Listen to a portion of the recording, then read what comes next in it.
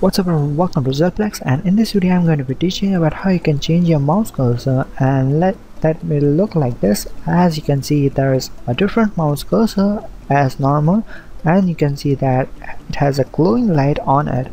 So I like this decent one so let me just go on Google and just type mouse cursor there you can see mouse cursor you can go on and change it the way it feels. So there you see that it is showing somewhat different. As you know that normal mouse cursor gives you like this hand but in this one this is not.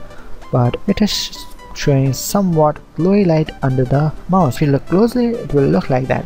So for that i'm going to go on and visit this website cursor for you that is loaded over here. You can go on and select whatever floats your boat like whatever smiles you want. Cursor cute food games and whatever you want. So this is kind of a things you can go on and look forward to. You can click on it. So let me just go on and switch the simple one. I like the simple one. So as you know that this was my normal but this website has official cursor for it.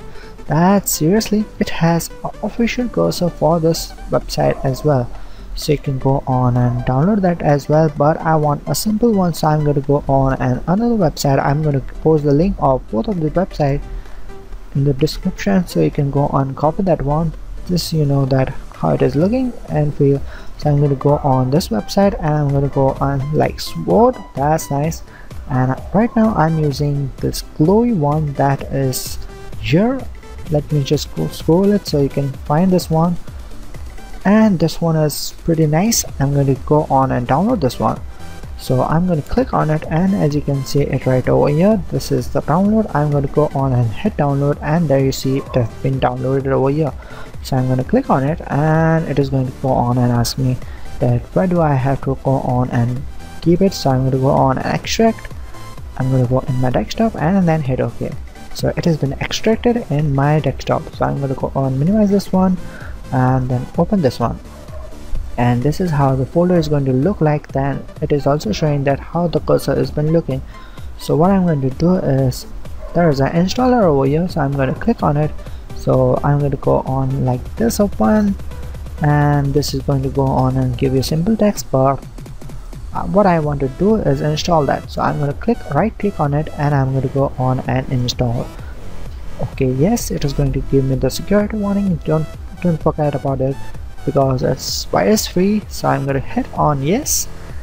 It's virus free that's pretty nice. So that is not over. You can see that it has already my old one so I'm gonna go on my here and I'm gonna type I'm gonna go I'm gonna go on my control panel and hit enter.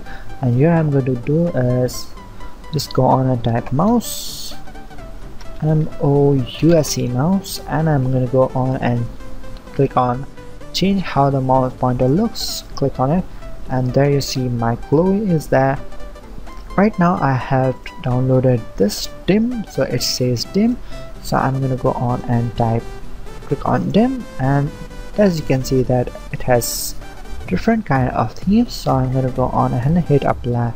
So going to say okay uh, okay I'm gonna replace it so I'm gonna hit yes. And there you have back with this this kind of theme. And you can see that it is right now taking loading. So that's why it is blinking like that. So it has like okay there you go. I'm to go on my browser. And you know that it is going to take some different way. So it is taking some like that. Okay. So you know can go on back back over here and just go on like default as well and then hit apply.